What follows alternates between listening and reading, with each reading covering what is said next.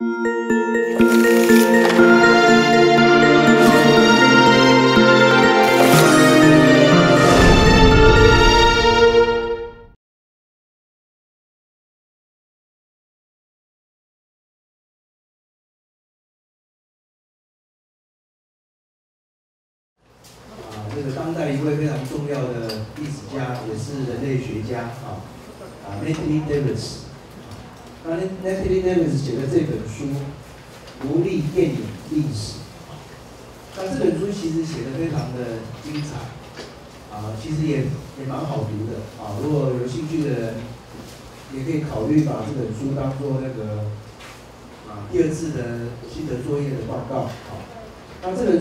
描写很多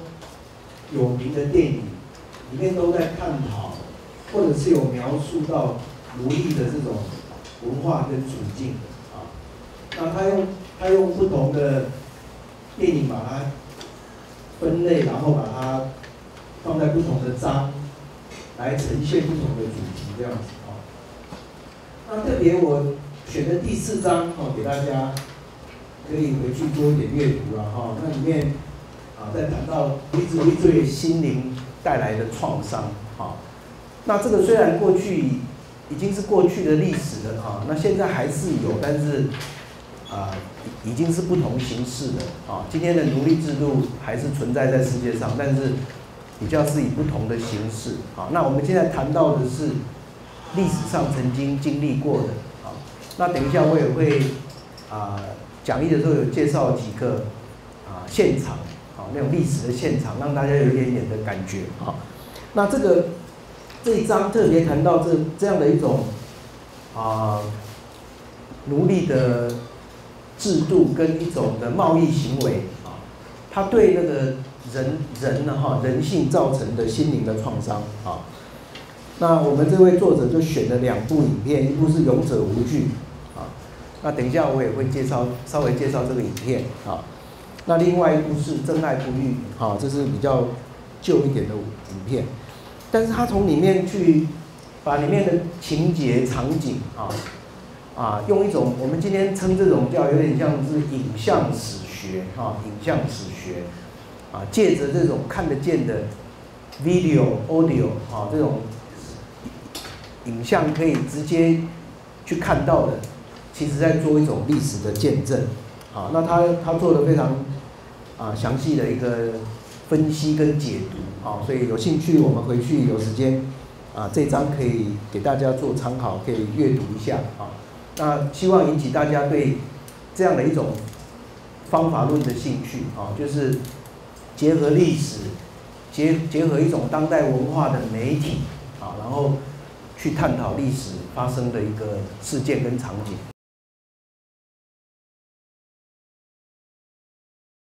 我在讲义的前言的地方有提到哈，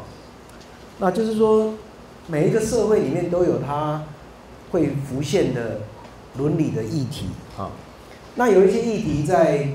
不同的啊文化处境里面，其实很容易就可以去判断这样的议题，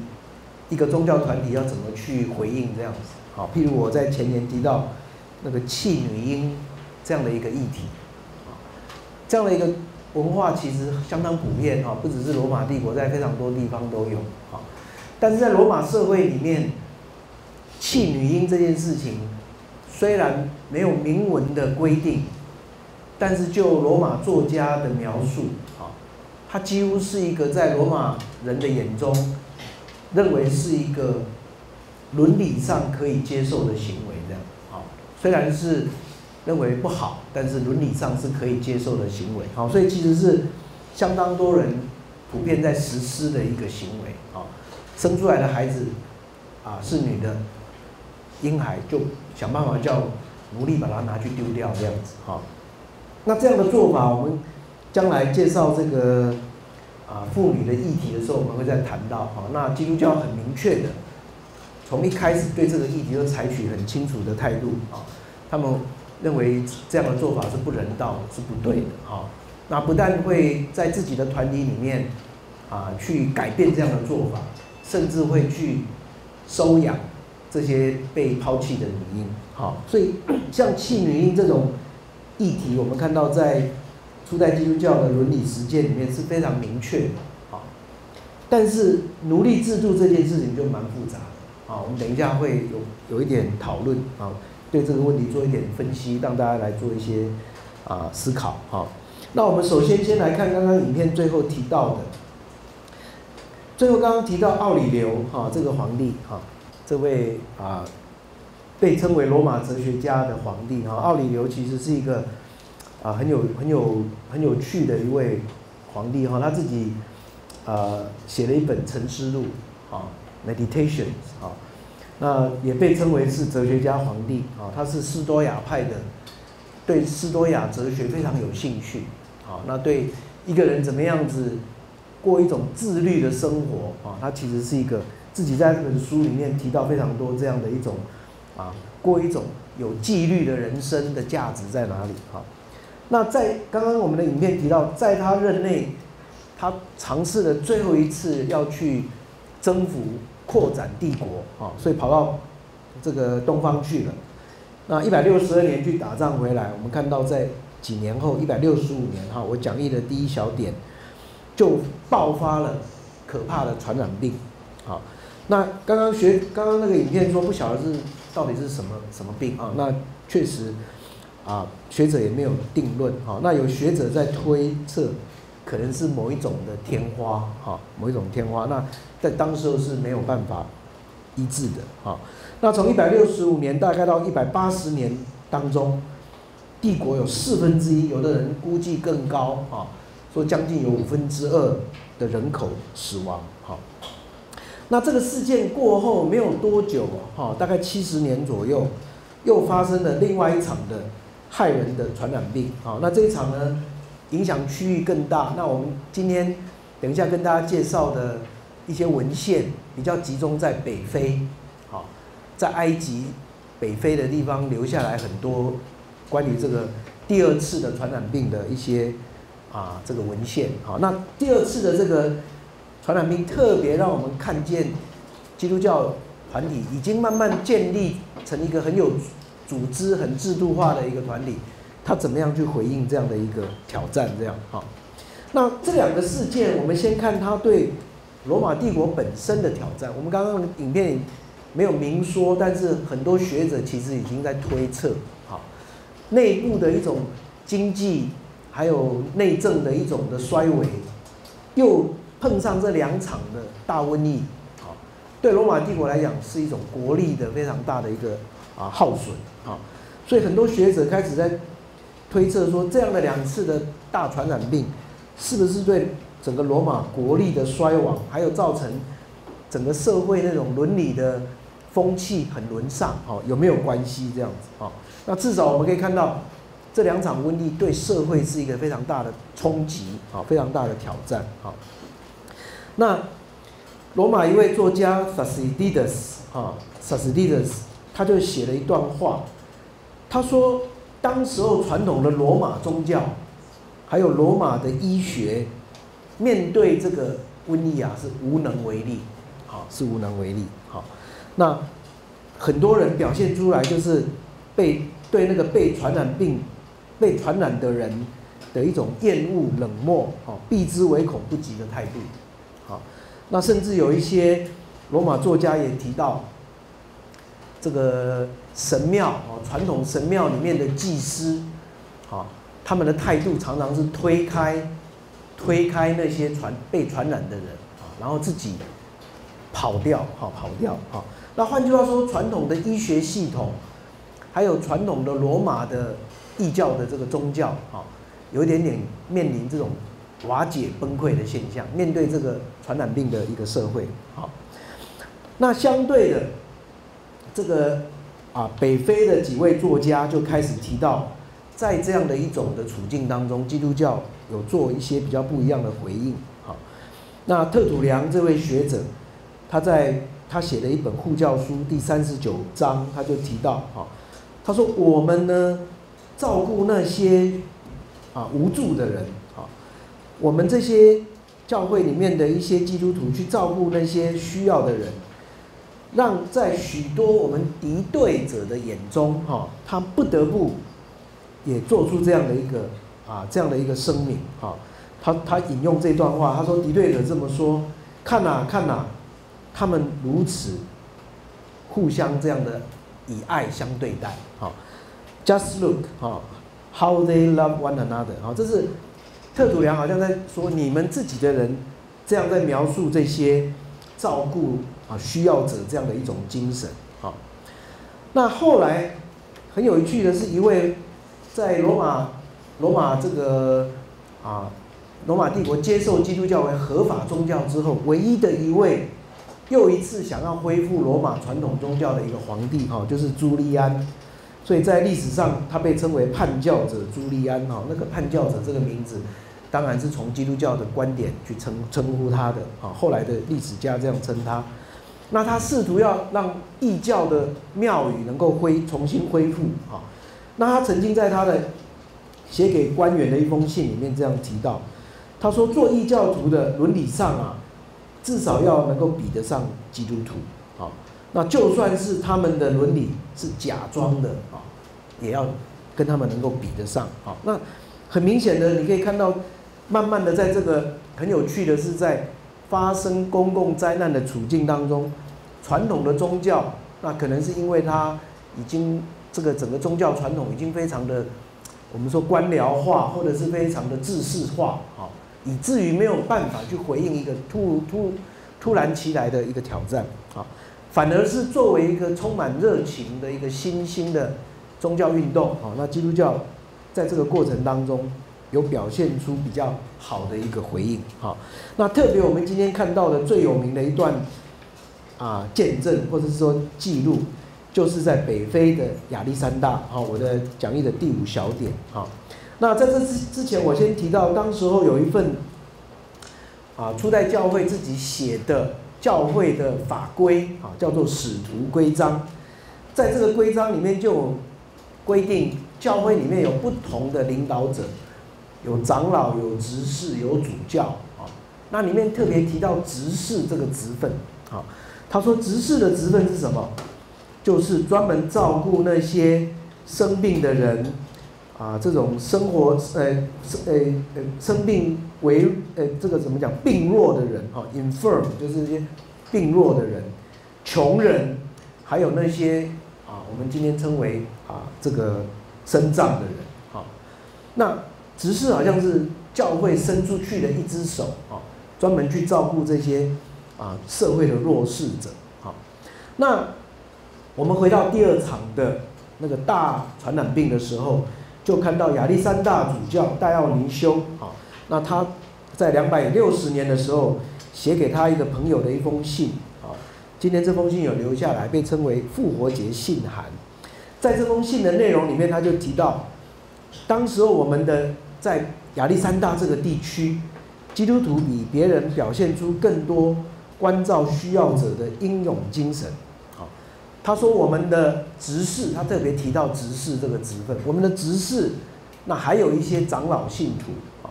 他们勇敢的出去照顾那些被染病的人，好，他用一个非常生动的表达方式在信件里面说，他们对方染病者的死亡，就不幸的转移到他们身上，啊，转移到他们身上，啊，那他们呢？勇敢的承受这样的一个啊，这样的一个啊挑战，好，那非常多的教会的领导者，因为照顾当时候的这些病患啊，那自己本身牺牲了，成为受害者，好，那戴奥尼修在最后讲了一句话，好，说这些去照顾这些公共灾难而死的人，在我的眼中来看，就好像殉道者一样。好就好像殉道者一样，好，那殉道这个概念，我们将来有一个主题会再来谈，好。换句话说，这个在这个初代基督教的这个团体当中，已经把这样的一种勇敢付出、哈牺牲去照顾需要者这样的行动，看为好像是在被迫害的时候勇敢去殉道这样的行为，很很类似这样，哈。那我们呃。看几张图片哈，这个奥利奥里留的时候比较没有留下什么文献哈，但是到了第二次就是两百五十年的时候，就是安东尼皇帝任内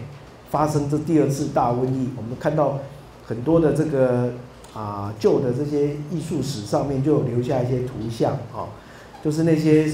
患病的人啊，有人去照顾他们哈。那特土良刚刚提到他介绍的这个北非教会的一种啊那种表现出来的一种伦理的态度，好。那朱利安刚刚提到他啊。做一个皇帝，当时候曾经啊对异教徒提出一个挑战，好，那这一位就是我们刚刚提到的戴奥尼修啊，那因为他留下大概有七八封的很长的书信啊，那这些都成为很好的历史文献啊，那特别是右边这张图就是在描写他所提到的场景啊，就是当时候有一些在瘟疫当中生病的人啊，那教会里面的这些。被任命有职分的，像长老或执事啊，他们就会出去啊去做这样的一种很勇敢的去照顾的行行动。好，我稍微引用一下我们啊两两本教科书里面的一本哈史塔克的这本书，他在这这本书里面有一一章特别在谈这个面对公共灾难的时候，基督教为什么会好像反而在那个当中。啊，变成是一个受受力者，好，在公共灾难当中，大家都受到很大的伤害跟挑战，反而基督教好像在这过程当中，他的牺牲是比人比较少的。好，那斯塔克他在我讲义第六点，他提了三点的诠释，好，那这三点其实跟他使用的理论是有点像的。好，首先第一个他提到，像居普良另外一位北非主教所提到的。这是一种相对的一种的冲击，哈，瘟疫对当时候存在的异教跟希腊哲学提出非常大的挑战，这挑战主要在两个方面，一个是对突然而来的这么巨大的一种的公共灾难没有办法提出解释，为什么会发生这样的事情，好，第二个是没有那种能够去回应的能力，去安慰那些需要的人，然后刚刚已经提到了，好。所以比较起来，基督教似乎对这个灾难有提供一个比较好的诠释。这个诠释通常是比较属于一种传统的基督教诠释，哈，就是说在人世间本来就会碰到灾难，好，但人的生命不会因为这样就完结，啊，在这个世界当中，面对灾难的人有勇敢去回应的，在将来会有好的一个报赏，好。那这样的一个诠释不一定所有人都能接受，但他至少提出一种的对灾难的一种的诠释。好，那更重要的不是诠释这件事情，而是一种的伦理的实践。好，所以 B 小点，史塔克说，基督徒这种愿意去照顾在自己团体之外的人，啊，将他的这种关怀的态度延伸到周遭的。我们今天说社区或者是生活的这种啊，生活的这种啊啊，这个生活圈子之外，哈，成为一种的啊基督教的特色啊。那这样的一种态度有两个很明显的一个影响。第一个就是内部基督教团体的伤亡率本来就会比较低，好，因为勇于照顾患者这种精神会让。这个团体本身跟外面的团体，就比例上来比，哈，伤亡率会比较低，哈。那另一方面，则是变成一种的见证，经过大灾难以后，存活下来的团体，通常也成为一种的见证，好。那史塔克认为，这样的两个面相加起来，哦，把它加起来，好像就可以让基督教在当时候整个罗马社会。受到这样的一种的冲击，人口比例降低之下，相对的基督教好像是啊凸显出来。好，那最后一点，他自己过去我们上次有介绍过他的一个人际网络的复从理论。啊，那这个理论我们上次在介绍家庭教会的时候也有提到。啊，呃，斯塔克认为最好的一种宗教团体的传播方法，就是借着一种小的团体。啊，亲密的人际网络让人在参与之一段时间之后，愿意去 attach 啊，去服从在这个团体里面。好，那他提到灾难的时候呢，特别会把那个传统的人际网络给打破。好，他用的语言当然是说那个 detach 啊，疏离。好，每一个人都活在一个旧的人际网络里面，但是发生大灾难以后，家庭破碎了，社区瓦解了，旧的人际网络疏离了。好。那人的那个旧的社会连接感疏离的时候，基督教这个团体提供了一个另外的人际网络，让一些人愿意去加入这样子啊。那根据这样的一个三个面向呢，我我们如果翻到啊第二页的部分啊，斯塔克他的结论就是说，整个这样比较起来，基督教好像在跟当时传统的罗马宗教比起来，就公共灾难的。这件事情上的回应，哈，是有一个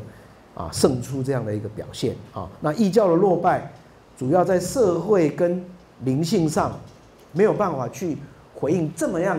突然其来的又这么浩大的一个巨大的危机的挑战。好，那新兴的基督教并没有完没有完全能够回应，但至少它扮演了某一种回应的角色。好，所以这个是第一个部分，我们啊看到这个。啊，在瘟疫这样的公共灾难当中，特别是史塔克的理论啊，给我们有一些啊可以思考的地方。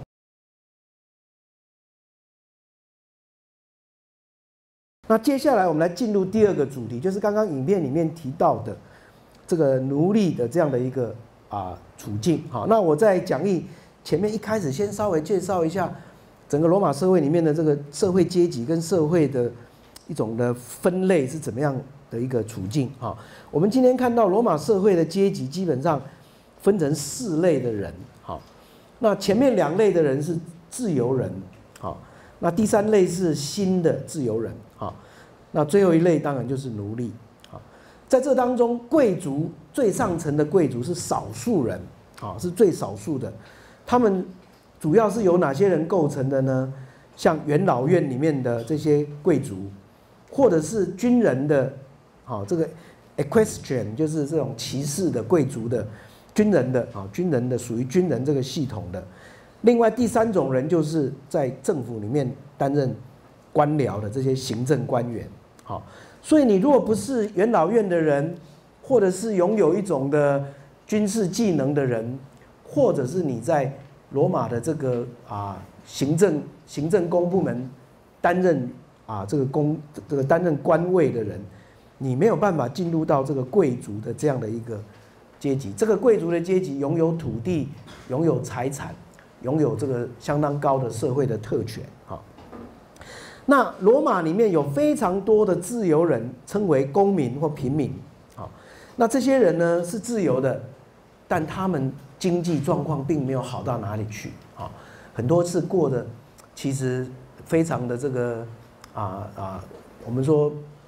啊，一天过一天算一天这样的一种生活。刚刚影片里面也提到，这些人可能要靠着都市里面的社会福利来生活的。好，那相对的，下面还有两个阶层，主要的是指奴隶这个阶层。好，那奴隶阶这个阶层，刚刚影片有提到，最高的时候几乎是整个罗马社会三分之一是奴隶。好，今天有的社会学家认为更高，有人主张到五分之二。就是奴隶这样的一个比例，好，那这些奴隶通常都是战争结束以后成为战犯，战犯就变成奴隶，好，那所以它是跨越不同族群的，啊，奴隶不是只有北非来的黑皮肤的人，也有从北方来的俄罗斯白皮肤的人，有从叙利亚来的，甚至也有从希腊半岛马其顿背景的这样的白白种人，啊，那这些人有一些过去是有专业的。有一些是有技能的，但是一旦成为战俘，通通被打入奴隶的制度里面。好，那奴隶之上有一个非常有趣的一个阶层，叫做被释放者。好，啊，这边称为用用拉丁文，男的叫做 libetus，女的叫做 libeta，啊，就是被释放的人，freed，啊，被释放的人。好，那这些人不是公民，还不是公民的身份。他们通过两种方式来得到这样的一种被释放的这样的一个身份啊。第二小点，好，他们通常若不是自己工作努力用钱去买到一种的这种被释放的身份，好，他可以去买被释放证，好。另外一个可能就是主人出于人道的一种的态度，啊，在某一个条件互相交换下释放了他，好，比如说有些主人会。对那些特别忠心、表现特别好、有专业能力的奴隶，说：“哎，你替我工作十年以后，我就让你得到啊这种自由的身份。”好，那不管是哪一种方法，他们一旦成为被释放者，就称为自由人。好，那自由人生出来的孩子就能够进一步获得公民的身份。好，那是在这样的一个社会里面，我们看到。从奴隶到公民中间有一个稍微可以爬升的阶级，就是这个被释放者这个阶级。好，那我们看到在基督教的团体里面，很多的成员都是属于这个阶层的人，就是那些从奴隶社会争取到得以自由的这个阶段的人。我们继续来谈这个啊奴隶制度的部分。好，那我们会从这个罗马。啊，这个时候的处境会会往后延伸啊，到呃中世纪，然后甚至到近代的一个啊一个延伸思考哈。那我们先看罗马社会里面的奴隶，刚刚提到，刚刚影片里面有提到有一个争议哈，有一位学者他提出一个很强烈的一个反驳哈，他说有的人认为说，哎，有的奴隶处境也不错啊，啊啊可以当医生啊啊。可以当那个被孩子很很宠爱的奶妈啊，家庭教师，有的可以担任啊家里面的管家、女管家等等这样子啊。那确实，我们看在罗马社会里面，因为不同的奴隶跟不同的社会处境不一样，在偏远的乡村地区，在农场、在矿坑，奴隶当然是过得非常不人道的生活，集体的劳力的付出这样子哈。但在都市的这种都市生活里面，奴隶就比较多元，工作的机会也比较多元。好，那啊，我们看到像呃奴隶市场，哈，奴隶市场在买卖的时候，其实不同的专长的奴隶身价不一样的，身体的健康，还有他的啊这种能力，是他的价值为最重要的一些标准。啊，那确实。很多在罗马社会里面的医生，哈，是由奴隶担任的，哈。刚也提到像管家、美法师，哈，还有一些奶妈，哈，这些都算是奴隶里面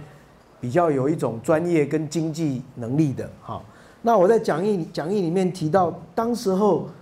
甚至到后来奴隶社会发展到一个成熟地步的时候，有很多得到自由的奴隶。其实他的经济能力甚至会比一般的贫穷的平民还高哈，所以，我们看到有一种现象，就是在我讲义第二页的那个第三点提到，有一些身身份是自由的妇女，甚至会嫁给不自由的丈夫啊，就是因为经济上的考量啊，两边互惠，这个奴隶借着娶一个自由的妇女，哎，可以得到自由，那。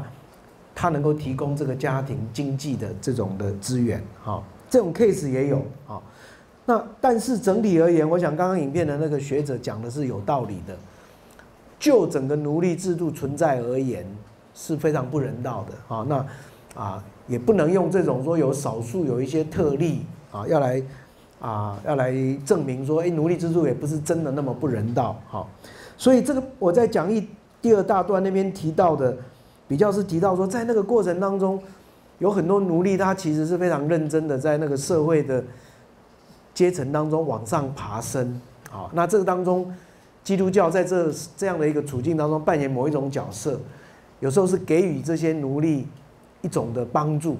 给予他们一种灵性的力量，去面对他们的挑战。好，但很清楚的是，我们看到整体而言，当时候的重要的基督教的作家。还有这些领导者，并没有直接对这个制度提出挑战。好，那这一点是我想是很清楚的。我们看我讲义的第六小点，我有做了一个小小的整理哈，就是基督教基本上并没有挑战奴隶制度，也没有试图改变奴隶诶罗马社会对奴隶的态度，好，但是就像保罗在他很多书信里面所提到的啊，一旦这个奴隶进入到这个基督教团体里面，他就被给予一个给予一个更被受到尊重、被肯定的一种人性的价值啊。那保罗认为，一个人在基督里面不再分彼此，不再分过去你的社会身份啊。那这一点呢，一种我们说带着一种温和的人道主义的这种态度啊，啊，让基督教在当时候的社会价值体系有扮演某一种的角色。我们等一下会来做一点点的分析哈。但是就他没有提出对奴隶制度的一个挑战这一点。却造成后世的基督教团体，特别当后世的基督教团体拥有权力，参与在这种我们说殖民主义、帝国主义的发展的时候，啊，这些很多的圣经里面的这些经文传统，就变成他们拿来正当化他们的行为的基础，这样子啊，这造成后来非常多的争议，长久的争议跟这个有关，啊，那。我们后面的介绍就会更清楚看到，奴隶制度也成为后来的基督教历史里面另外一个挥之不去的污点。好，那其实是需要做一种的历史的反省的。好，那当然我们刚刚影片也提到了，这个后来啊过度的这种不人道的做法，就激发了奴隶起来叛乱。好，那。历史上有好几场的这样的叛乱，那非常有名的这个电影《Spartacus》啊，也是一个啊特别在描写这样的一个场景的电影啊。这个万夫台湾翻作《万夫莫敌》哈，这个影片这个影片也有新版本的，又重拍了哈新版本的影集哈。那这个影片给人印象最深刻的就是到最后的时候，那个从他们罗马军团去镇压。这个奴隶的叛乱之后，从那个战胜的点一路回到罗马，整个马路上一整排的沿路啊，每四十公尺、五十公尺就定一个奴隶啊，用十字架把他们钉在这个啊路旁边示众这样子啊。所以这个十字架这个这个事件啊，十字架这个象征放在这个奴隶制度的叛乱里面，特别让你可以凸显到。十字架这个记号，原来在罗马社会里面是一个耻辱的记号，啊，是一个耻辱的记号啊。通常被钉在十字架上的是叛乱犯，是重刑犯，是这些奴隶叛乱才会被钉在十字架上啊。耶稣被钉在十字架上，为什么这件事情？保罗说这件事情是一个对很多人来讲是一个绊脚石啊。是一件耻辱啊！意义要从这个角度去看啊，去看，那也是很有趣。后来君士坦丁大帝成为基督徒以后，他就宣布把十字架这样的一种的刑罚改名字啊，不再叫它是十字架啊，给他改了另外一个名字啊。哎，这是一个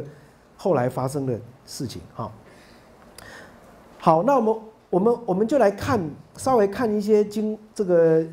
后来的。的基督教团体回来引用的经文，造成争议的经文啊。如果你们先翻到呃讲义的最结束的地方啊，在结论的地方，我有提了一些啊思考问题啊思考问题。我们从这边先来想，那等一下再来看这个历史的场景啊。譬如说，后来的主张奴隶制度的基督教。团体或者是这些这些我们说获利的这些人哈，他们总是会回去诠释创世纪第九章挪亚的这个故事。好，那这个故事我把这个经文放在这边给大家看一下啊。这件事情是发生在挪亚方舟的事件之后。好，好，最近因为很多关于生态灾难片会提到这个挪亚方舟这个故事啊，就是。人的人的罪非常的大，上帝让洪水淹没了这个世界，结果挪亚这一家人却得到恩典，得到拯救啊。那故事是发生在挪亚这个家族得到拯救洪水退去以后落地，才发生这个故事。就是挪亚呢自己种了一个葡萄园，而且还生产美酒这样好。那后来呢，故事发生就是挪亚喝醉了，好，喝醉了。这边有听到啊，他喝酒喝醉了，就他没有穿衣服躺在帐篷里面啊。那这段经文提到他的儿子其中一位，第二位韩，啊，韩就是迦南的父亲，啊，看到他父亲赤身肉体，就跑出去告诉他另外两个兄弟，这个闪跟亚佛，哈。结果这两个兄弟比较聪明啊，他们知道父亲的那个罪态很难看，他们也不敢去羞辱他，或是看见他就倒退着走哈，用衣服去把这个父亲遮盖他的赤身肉体的丑态哈。那这个事情结束结尾是什么呢？就是一个很有趣的一个啊谴责啊。挪亚醒过来，酒醒过来以后。知道他小儿子做哎做什么我们不知道不清楚没有讲很清楚啊是羞辱他呢或是发生什么事情不知道啊但他就做了这个决定啊说韩的孩子韩的孩子后代迦南该受咒诅，他要做他兄弟的奴隶好那另外说闪的上帝迦南要做闪的奴隶。好要赞美上帝，闪的上帝啊！愿上帝让亚佛繁盛，愿他的子孙跟闪的子孙同住。迦南要做亚佛的奴隶，好，所以三个兄弟哦，哈，这个闪、韩、亚佛，后来根据这套这个故事发展出来的一套理论，就说这个人类里面最重要的三大人种的源头啊。是从这三个兄弟发展出来的。好，那散族就是我们之前提到的那个反散族主义，这个散从这里来的。好，包括犹太人，包括今天的一些阿拉伯人，都属于这个散族这样子。哈，韩呢，则是指北非的这些黑人，还有他们的后代迦南，就是属于这样的这个支族的。好，亚佛呢，则被诠释为就是后来的雅利安人。啊，我们一般说的印欧民族啊，包括今天印度的人，这个西班牙的，还有后来的白白种人的后代。好，那所以如果人类学用这样的一种诠释的话，那回到刚刚这个经文，哎，好像发生这个挪亚喝醉酒的事情之后，就注定这三个不同的民族的后来的命运会不一样。有一些人好像注定要当另外。另外一个兄弟的后代的奴隶这样子，好，这个经文后来常常被引用。那最有名的近代的历史，就是在南非，好，在南非，南非的种族隔离制度，很多白人就用这段经文来解释种族隔离制度是合法的这样，好。那这个经文今天当然，我想很少。基督教团体会这样去解释它了啊，但是在过去，这个经文变成有非常不好的影响。好，另外一段经文，我在思考问题的第二小点有提到，哈，那保罗怎么看待这个奴隶的制度呢？啊，那保罗他在哥林多前书七章写给哥林多教会一封信里面讲了这一段话，啊，这段话也不容易去诠诠释它，啊，但是。读起来很像保罗是尊重存在的制度，不愿意去改变这个制度。啊，保罗这么说：每一个人被上帝呼召的时候，就应该要继续保有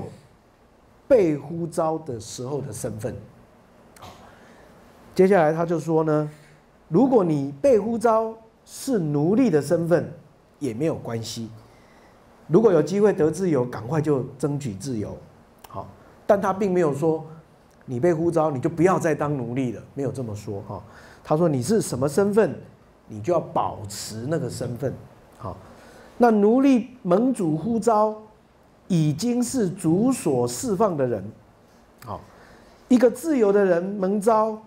反而是成为基督的奴隶，哎，保罗用一种宗教观点，好像要重新去诠释这个处境，但并没有去处理真正的社会身份。好，他好像告诉奴隶说：“你今天被耶稣呼召了，你已经是被释放的人了，就像是社会里面的那个 free man 一样，你是被释放的人了。”好，那另一方面，他跟主人说：“你是自由人，但今天你被基督呼召，你就成为基督的奴隶了，所以你也不要太骄傲哦，你其实是基督的奴隶。”哎，这是一种灵性的诠释，哈，灵性上的一种宗教的诠释，哈。那但是他的结论又回到社会处境，说你们每一个人在上帝面前要保有蒙召的身份。哈，另外一段话，在他写给以佛所教会的书信，他提到奴隶跟主人的关系。他说做奴隶的要战战兢兢，专心服从世上的主人，就像侍奉基督一样。啊，做各各样的事情要心甘甘心乐意去尽本奴。奴仆的本分，啊，你在服务你的主人，就好像在服务上帝一样，好，那每一个人都会按照他的行为得到报赏，好，所以没有处理任何对奴隶制度的评价或者是批判，没有，好。那另一方面，保罗也挑战做主人的人啊，你们做主人的人要好好对待奴奴仆，不要威吓他们，因为不要忘了。你跟你的奴仆在天上有共同的主人，好，那这一点又是用一个宗教的诠释来诠释他们的一种新的关系啊。最后一个故事是保罗写给一个他的朋友叫菲利门的一封短短的信啊，也有收在新约圣经里面，叫做《菲利门书》啊。那这本书最最有趣，因为里面提到他。一个奴隶叫做阿尼西摩，啊，阿尼西摩本来是菲利门的奴隶，结果可能受不了那个痛苦，哈，受受不了那个苦就逃脱逃了，脱逃了以后辗转的到很多地方信了耶稣，结果成为保罗的童工，哦，成为保罗好像他的儿子一样，保罗照顾他，好，那现在呢，保罗写信给菲利门说，我要叫你的奴仆。阿尼西姆回去你那里，好，哎，接下来这段话就是保罗写给这个主人菲利门的信，非常有意思。你看保罗怎么在谈他们的关系啊？他说：“阿尼西姆之前暂时离开你，或许是要让让你永远留着他，好，意思说他现在跟你有一个新的关系了，好。现在他不再是奴隶，而是远高过奴隶。”好因为他已经是基督里亲爱的弟兄啊，他对菲利门这么说啊。对我来说，他确是如此，何况对你？因为你们既有主仆的关系，又是主内的兄弟，所以如果你把我当做亲密的朋友，你就接他回去，像接纳我一样。哎，保罗是劝这个脱逃的仆人回去主人那里，他劝主人要好好接待他啊。然后也告诉他，你们虽然还是主仆，但已经又有一层不一样的关系了。你们在基督里是像兄弟一样的啊。后面这段话也很有意思哦。保罗这个跟菲利门这么说啊，他做了什么对不起你的事或亏欠了你什么，都记在我的账上好了啊。保罗说记我的账这样啊。那我在这里，他保罗说我在这里亲笔写下，我保罗负责偿还。好，哎，后面又加了一句话哦。他说：“菲利门，你不要忘了哦，我我不用提醒你，你欠我你的生命嘞。”啊，哎，这句话是很有趣。保罗一方面告诉他有什么事都找我好了，啊，但另一方面，保罗又把他过去对菲利门的那种那种好像过去的对他的恩情啊搬出来了，这样哈搬出来了。所以最后说：“弟兄啊，为了主的缘故，让我向你求这个情，解除我精神上的负担。”我们都是基督里的弟兄啊。那换句话说，这个过程是非常有意思。保罗虽然没有直接去挑战奴隶制度的问题，但他几乎是要以一种新的关系，要去谈这个旧制度里面的可能的新的对待的方式。好，那我想这大概就是基督教团体在那个时代能够扮演的一种非常独特的一个模式啊，以一种基督教人道主义的精神去松，我们都去慢慢去让那个奴隶制度有点人在松绑这样的一种做法啊，让奴隶制度被赋予一种的人性的一种的精神在这里面，但并没有直接去挑战奴隶制度啊。那这个当然很多学者有不一样的诠释啊，为什么？不去挑战它呢？啊，它明明是一种一个不人道的制度啊！啊，那大部分的学者的看法是，初代教会、初代的基督教，并不认为罗马的这个社会会一直持续下去。啊，有一些基督教团体认为，基督的基督的时代、上帝的时代很快会来了。所以不必去挑战现存的社会制度。啊，那这个解释当然有的人认同，有的人不认同。结果我们看到的是，并没有去直接挑战制度性的。哈，那我们从这里做一个最后的结论。保罗呢，最后提了一个非常有趣的一个看法，在写给加拉太的书信里面，就是我刚刚已经提到的他的一个基本态度。哈，他说过去我们的社会可能有不同的社会区分。哦，我们先看最下面那段话。啊，他说不分犹太人或外邦人。奴隶或自由人，男人或女人，啊，在耶稣基督的生命里，成为你们都成为一体了。好，那前面一句话他也这样说：你们受洗跟基督合为一，就像穿上基督，有他的生命。好，那这句这个这句话是最常常被引用的一段话。保罗在这边提到三种区分：犹太人跟外邦人是族群的区分。奴隶跟自由人是一种社会的区分，社会阶级的区分；男人跟女人是性别的区分。啊，这个在传统社会，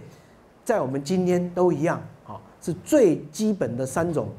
社会区分。但保罗在这里把它们放在一起，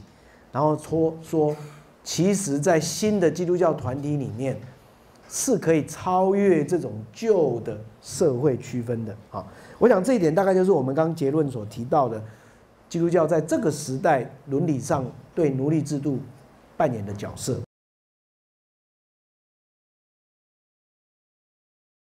下面呢，我就要回到延伸思考的部分啊。如果你们回到呃讲义的第二页的地方啊，在第二页下面这边，我开始呃带带着大家来思考这个后来历史上发展出来的一些问题哈。那也是我们今天发给大家的。那篇文章哈里面所谈到的一些议题哈，就是这个奴隶制度在历史上它所造成的影响啊，对心灵的一种的创伤的意的那个那个意涵在什么地方哈？那我第一次接触到这个议题是一九九九年哈，我有机会啊去到巴西的萨法豆这个地方去开会啊。那巴西萨法豆是从非洲转运奴隶。到拉丁美洲的最重要的一个集散中心，好，那我第一次去到那个奴隶市场的那个历史现场，去那里参观，哈啊，看到那个地方现在已经是一个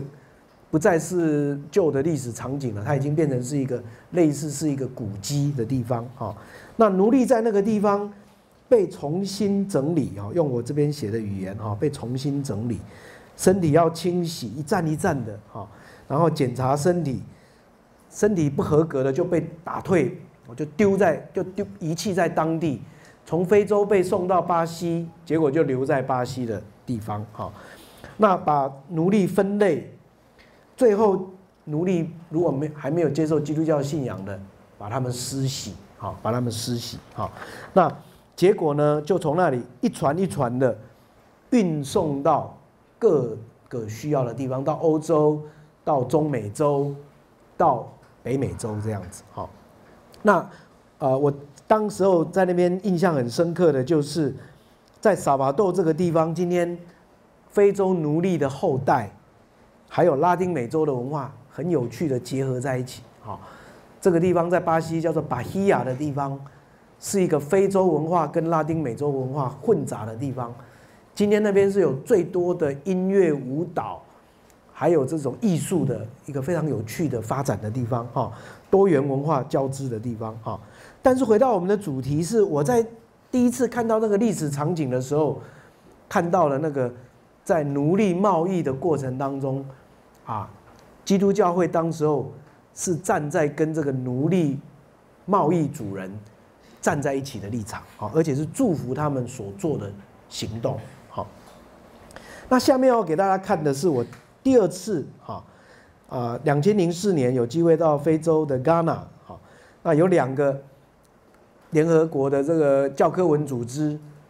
已经被列为教科文组织的历史古迹的两个城堡啊，一个城堡叫做角岸堡，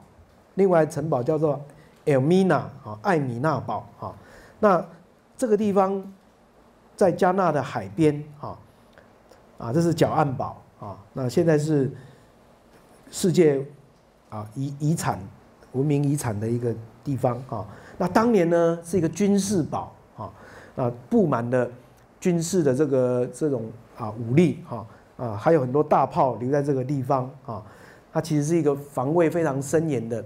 一个奴隶的集散地啊。那这里面呢，你可以看到一个一个的地牢啊，有男性的地牢，有女性的地牢啊。地牢里面呢，一个地牢通常大概可以啊。睡大概六十个人到八十个人，好，那这些奴隶被送到这个地方来做同样的事情，重新整理，好，被分类、健康检查啊，然后等待传奇，传来的时候就一传一传的被送出去，好，被送出去，好，那在这个地牢里面，其实你会看到是非常的阴暗潮湿的，好。那通常在这边会住两个礼拜、三个礼拜、四个礼拜啊，等到传奇来了，他们就准备上船，那迈向不可知的未来哈。那这个我在我在讲义第三页有提到哈，这个经验呐哈，一一一个在这边读到了一段经验啊，就是说，哎，当时候我们在那边参观的时候啊，哎，有一位这个。美国美国黑人呐，哈，他就他就突然很很有这个感触，就就发发表一段讲话，他说我呢是奴隶的后代，好，啊，你们张东这边有我们去开会参观的，有有荷兰人、英国人、美国人啊，有一些是欧洲的啊，这个法国人、意大利人，然后你们你们呢，有一些人则是奴隶主人的后代，好，我们今天奴隶主人的后代。跟奴隶，身为奴隶后代的，我们一起聚集在这里，好像一起在追思默想过去的历史场景哈。诶，他说他有很深的感触，这样子哈。啊，确实，我想这个对奴隶制度的一个奴隶贸易的一个认识，其实应该带来更深刻的历史反省，应该是一个非常重要的的地方哈。那这个宝呢，最后的一个啊。关键的一个场景就是这个被称为“不归门”的这个啊，走出去外面的一个门。大部分的奴隶被送到这个地方，都放在地牢里面，在那边这个等候啊，那准备身心啊，然后到了传奇来的时候，就沿着地下通道一路走上来，走到这个地方啊，从这个门就走出去啊，这个门就被称为。Door of no return，好，不归之门。好，那我在我在这个讲义第三页的最下面有提到这个故事。哈，这个门本来叫做 Door of no return，出去的人，好，根据这个历史的记录，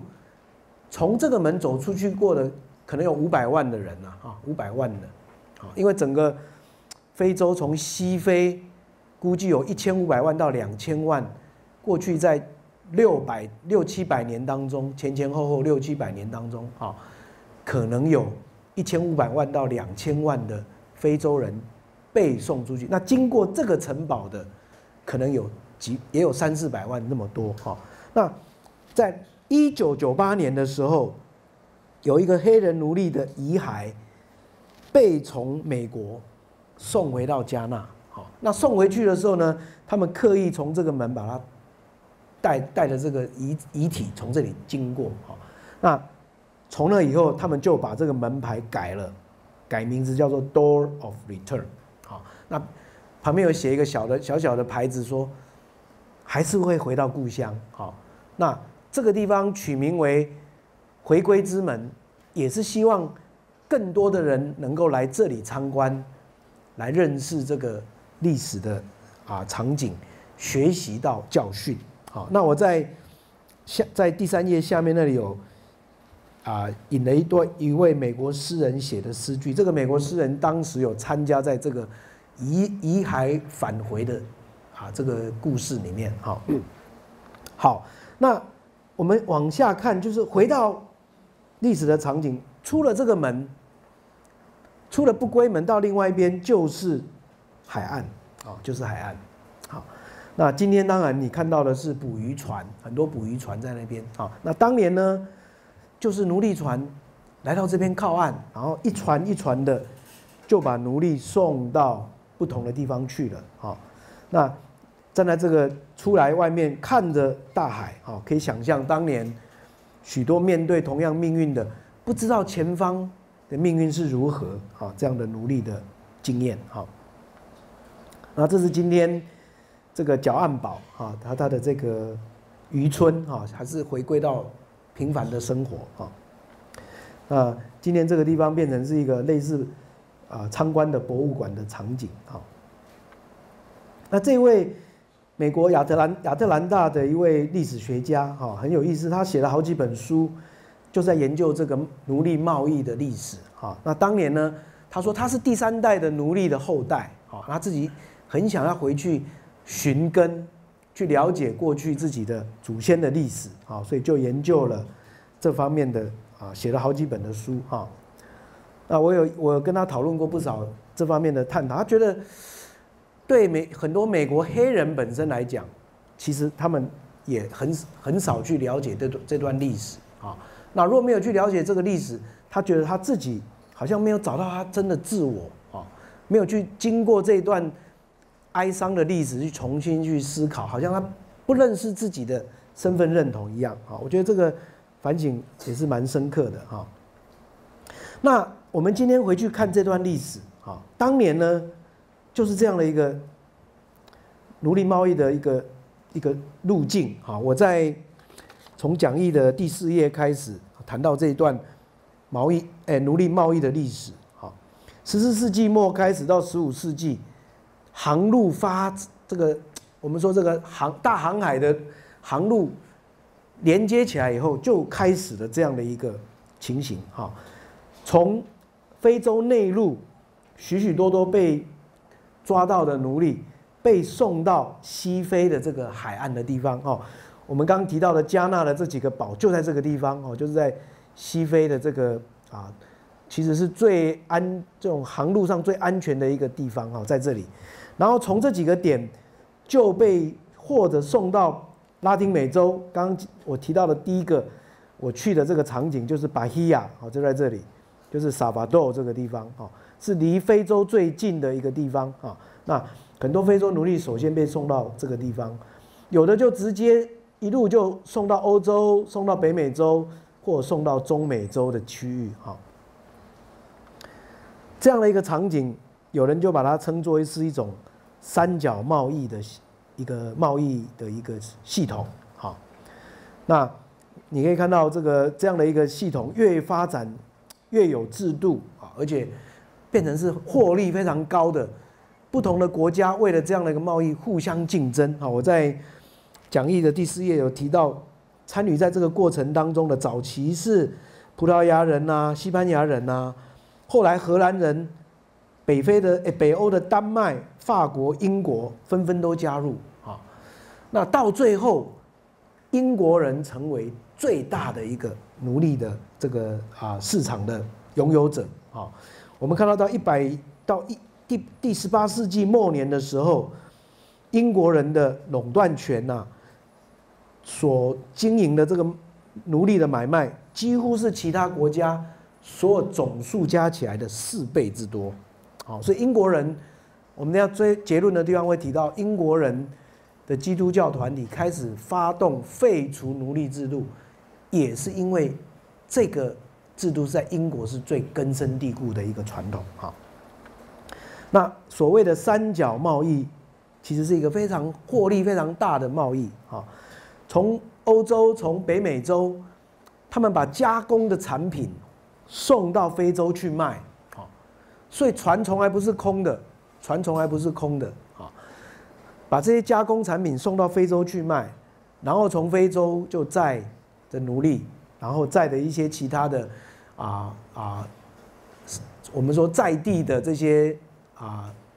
呃原原原物啊原物的这些产品送到北美洲或去欧洲欧洲哈，这个三角贸易变成一个获利非常好的一个啊贸易系统哈。那一八一七年有一位。画家画了这幅很有趣的画啊，在这个阿香体阿香体这个族群的一个庆典啊，这是这个这个在今天的这个啊呃 Nigeria 奈及利亚附近的地方啊，这个阿香体这个族群，他们每年都有这个 Yam 的庆典，Yam 就是我们的鼠哈白鼠啊，他们种的那个白薯。那那个白薯是他们最重要的主食，啊，每年庆祝这个 yam 的丰收这样子啊，所以这张图你前面看到的是一个好像很欢乐的场景啊，在庆祝一个这个白薯的这个庆典，可是你有没有看到后面啊这些啊奴隶贸易商的旗帜已经在后面飘扬，哈，英国的旗子在那边，还有其他的哈。那这个过程，我们今天回去想象奴隶的这个贸易的过程当中，那个心灵的创伤啊，这是我们今天分给大家的那篇文章里面提到的这个概念。我们等下会慢慢会发展出一个很重要的一个主题，就是 middle passage，中间的航程，好，中间的航程，好，对一个被抓到的奴隶来讲。他很希望明天就到达当奴隶的地方，好，但不可能，这中间还有很长的路要走，好，就算他平安的、顺利的去到那个地方，这个过程已经是最大的一个挑战，好，那我们看到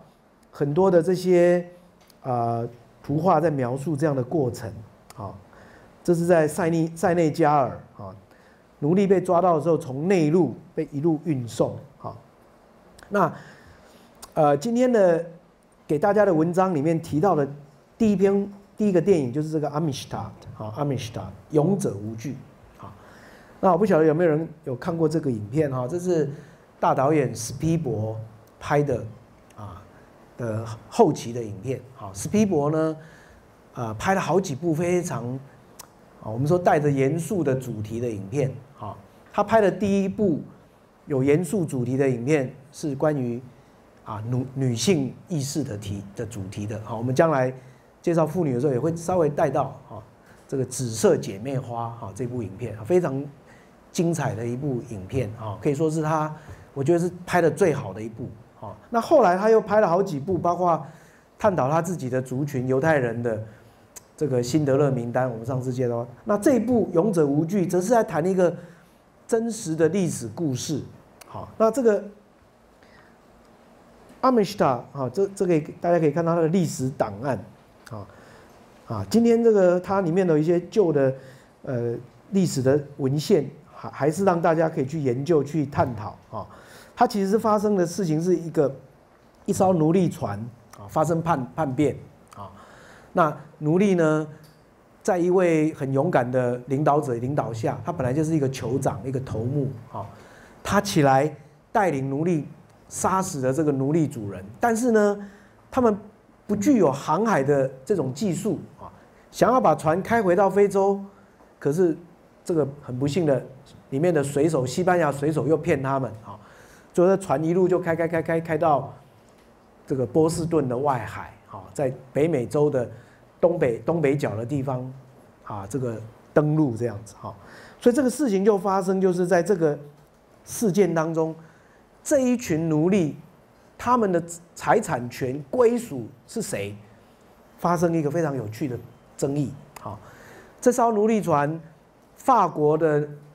女王女王有股份，西班牙商人觉得他有，他们有拥有权。美国的国防部认为这个船既然在美国东北岸、东北海角这个登陆，就属于美国人的财产。哎，大家都在那边为了到底这一群奴隶的所有权是属于谁的，发生这场非常有名的世纪的大审判。好，那后来美国的前总统这个亚当哈就出来出来这个担任。辩护律师，好，到最后早期他不是，啊，早期是年轻的一位律师出来辩护，啊，那这故事到最后当然就是很有趣的是，那个经过这个这位前总统亚当的一个辩论之后，法官裁决奴隶自己拥有自己的所有权，哦，这些奴隶拥有自己的所有权，好，当庭就释放，啊，当庭释放，这故事是一个非常有趣的一个，我们说一个。Happy ending 啊，它是有个很好的结局的一部影片啊。但是影片里面，如果你有看这个影片，就会感受到，它最重要在反映的主题是这个 middle passage，所谓的中间航程或是中途航程，好，所有的奴隶都要去面对经历这个中间的旅程的痛苦，好，走路也好。坐小船渡过这个非洲的内陆啊，最后终于抵达海岸边，好，然后要集体被送上奴隶船，好，被载到这个某一个地方去。那《阿米什塔》这个电影就在描写这个奴隶船的场景啊，通常至少要六个礼拜到八个礼拜这样以上的航程，好。Middle Passage 这个字在非洲的。传统的斯瓦希里的话里面叫做马法，马法的意思就是大灾难的意思，大灾难。好，所以奴隶制度变成一种盛行的文化之后，非洲人都知道，当奴隶就要就是马法啊，就是大灾难的开始。你要经历这个中间航程。好，那想象这么多人被关在这个上面。不不听话的会被丢到海里，啊，食物不够的时候也会把人丢到海里，啊，在《阿米什塔》这个电影里面就有描写，有四五十位的奴隶曾经因为食物不够，被西班牙的这些行行商把他丢到海里去，好，所以后来那个法庭的审判最后还判这些西班牙商人要入罪，要罚款。啊，这跟这个场景有关啊。那有名的这个印度裔的作家拿破哈，他就写了好几本小说啊，也在谈这个主题哈。那我顺便跟大家介绍一下，这本没有翻成中文啊，也是书名就叫做《Middle Passage》，中间航程。他就在描写这个一个一个啊成为奴隶的人那种内心的挣挣扎哈。那但是他另外写了一本书，这本书就有翻译了，哈，这《大河湾》，哈，《大河湾》这本书也一样在描写一个非洲社会受到奴隶制度的冲击，好，那左边这张相片是很有趣，这个拿破仑啊，因为他写的这个小说，特别是《大河湾》这本书，好，他拿到诺贝尔文学奖，好，啊，领奖的时候他自己忍不住哭出来了，啊，这是一个一个一个作家很真情流露的一个。表现哈，那所以中间航程是我们可以看一些这些画家画的这个图像哈，在一艘船上面，这个人好像被当货物一样这样堆积在那个地方啊，这样的一个场景，加上那个过程，我们刚刚提到检查身体啊，啊被拍卖啊，啊啊如果脱逃的人啊会被刑求，会被烙印。那脱逃的抓回来刑求啊，监禁啊，这个过程都可以称作是 middle passage 啊，middle passage 啊。那在过去的奴隶制度里面，用来对付这些不人的不人道的器具，啊，这些场景是是很值得人去深思的，啊。今天在北美洲也留下很多奴隶拍卖的这种啊历史的遗址，美国到了一八六零年，为了这个，就发生了内内战，啊，我们知道这个，我们看到图片上绿色的这些州。是反对奴隶制度的啊，红色的这些南部的州，是为了经济的理由，必须坚持必须要有这个维持奴隶制度。好，那中间有一些没有做决定的州这样子。那很有趣的是，在这个奴隶制度的的发生战争的过程当中，美国所有的基督教会都分裂成两个教会，美美北的教会跟美南的教会。好北边的教会反对奴隶制度，南边的教会继续支持奴隶制度。好，那我们刚刚提到的那些经文就被拿出来使用了。好，赞成反对的，就为了这个，到底圣经是支持还是反对？好，那南部的这个南部这边的一些神学家，甚至有人写了一本书，主张说奴隶制度就是上帝设立的一种人类存在的方式。好他的结论甚至说，有一天去天堂，天堂还有奴隶制度存在，这样，好，用这种方法要来证明说，哎，奴隶制度是上帝所允许的，好，所以这样的过程当中，我们可以看到，我们之前谈到的啊，这个初代基督教好像没有解决的一个问题，反而到了后代，在基督教的历史发当中继续发展成为一个重要的议题，哈。那我们当然知道，在美国。是因为经济的原因才会有这样的奴隶制度哦。那其实男女在这个棉花田的屯屯垦区都扮演非常重要的角色哈。也有一些啊类似是自由集集集社的这样的一些团体哈，他们这些是逃脱的奴隶，自己自己啊成为一个团体，到处飘荡好。那。后来北北方的美国的这个基督教团体就开始发展一种解救奴隶的一种的行动，好，他们就把这个行动就叫做 Underground Railway，好，像说地下铁路这样子，好，当然是象征的用语，不是真的一条铁路，是说有一条管道是让南方的奴隶可以脱逃跑到北边的，啊，所以有好几十万的奴隶。是借着这一条通道跑到北美洲，甚至也有很多跑到加拿大去。好，加拿大今天有非常多的黑人的后代，其实是在南北战争的时候经过这一条自由大道啊脱逃而到北边去的。好，那当年我们当然知道，在支持的支持支持废除奴隶的这一边啊，有像这个很有名的黑人领导者 Douglas 哈。另外一位女性的领导者 Truth，好，还有林肯啊，这都是当年我们看到在废除奴隶制度过程当中的很重要的角色。好，那基督教本身的故事里面有一个非常有趣的部分，就是这位圣诗作家啊，叫 John Newton，啊，那他写的这一首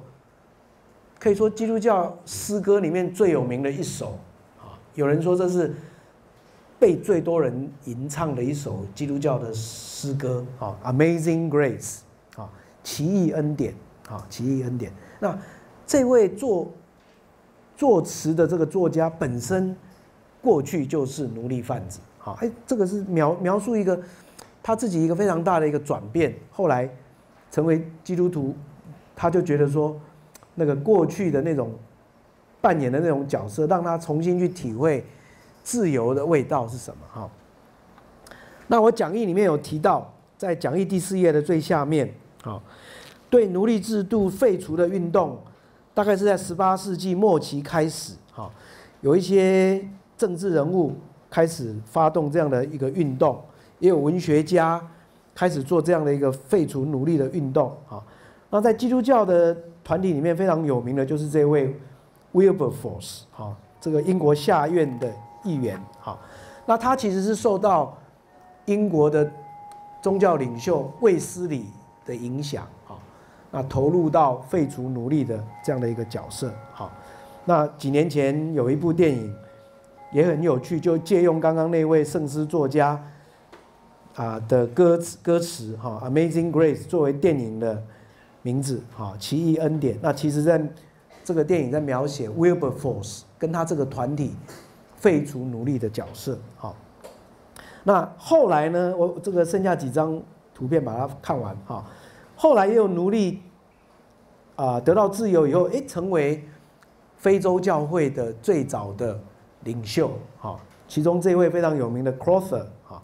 他其实本来是是是奴隶，那后来啊成为自由人以后，他就成为非洲。基督教本地基督教第一位的主教，好。今天呢，很多人指出，在伊斯兰世界里面，好像还存在着奴隶贸易的行为，好。那这个是，呃，我打一个问号，好，让大家可以去思考，奴隶制度并没有完全消失在今天这个时代，好，在不同的文化处境里面还有存在，好。那我在讲义的。最后一段我也提到这个给大家思考的问题啊，就在今天，现实上相当于奴隶的现象有什么？好，譬如非法的性交易啊，用劳动来抵债这样的做法，那我们台湾有很多这些平民法律运动，很关心台湾有很多卡奴，啊，哎，这个是不是都可以算作是一种？现代的一种不同形式的啊人人不人道的的奴隶的一种形式啊，所以奴隶制度是一个人类历史上值得反思的一个社会现象啊。那宗教团体在这里面扮演的角色，特别基督教啊啊也是一个值得啊深思的主题好。那我们呃借着这些作品这些啊文章啊，希望让大家对这个问题有一些了解。好那也可以借这个机会，一起来做一点点历史的反思。